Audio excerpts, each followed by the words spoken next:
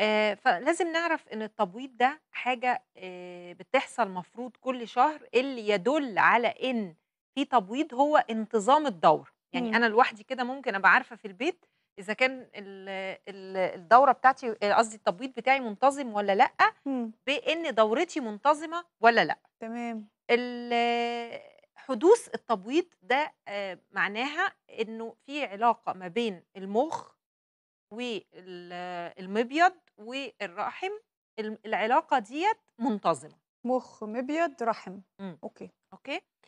آآ يبقى إذًا عدم حدوث التبويض لازم في مشكلة في العلاقة ما بين الأعضاء دي. التبويض هل المقصود بيه هو نزول الدورة؟ لأ.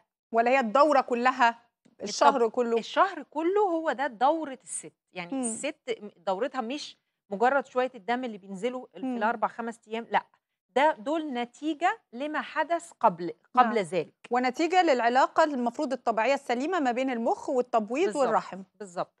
ال يبقى أي خلل في العلاقة دي آآ بيحصل منها مشاكل في التبويض، أوكي؟ مشاكل التبويض هل ده معناه إن هي مشاكل مبيض والّا لأ؟ خلل في المُخ أو خلل في الرحم أو خلل في المبيض؟ ما هو لو ال ال التبويض بيحصل لمّا بتكون العلاقة ديّة منتظمة، أوكي. العلاقة دي سليمة، إمم. العلاقة دي ما فيش عليها آآ مؤثرات خارجية، ما هي طبعًا ممكن حاجة خارجية عن الaxis ده أو عن ال ال السكة دي تسبب مشكلة في التبويض، زي. مثلًا مشاكل في الغدة الدرقية، وده من أهم الرسايل اللي أنا عايزة أقولها النهارده.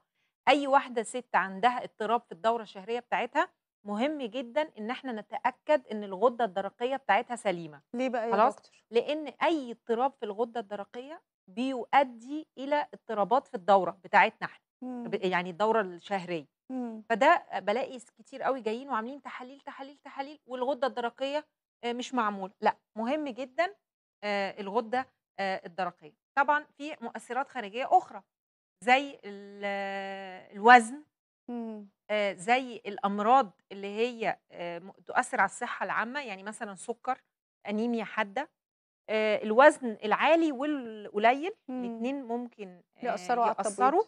الضغوطات النفسية إمم. اللي أمّا بناخدها عادي كده، لأ، الضغوطات النفسية ممكن برضه تسبب مشكلة في ال التبويض. في التبويض.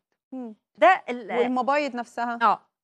ده ده أسباب آآ عامة، في أسباب بقى في الغدة النخامية، إمم. ممكن يكون فيها أورام أو ممكن تكون بتفرز هرمون آآ لبن زيادة شوية. هي الغدة النخامية هي اللي بتفرز هرمون اللبن. آه. إمم. وبتفرز هرمونات تانية كمان، يعني إمم. بتفرز هرمونات تانية اللي بتشغّل آآ المبيض، يعني أي اضطراب في الغدة النخامية ممكن يؤدي آآ إلى مشاكل في التبويض ومشاكل في ال المبيض نفسه. مشاكل إمم. في المبيض بتندرج آمم يعني حاجات كتير، أهمها أو أكثرها شيوعًا هو آآ تكيسات المبيض.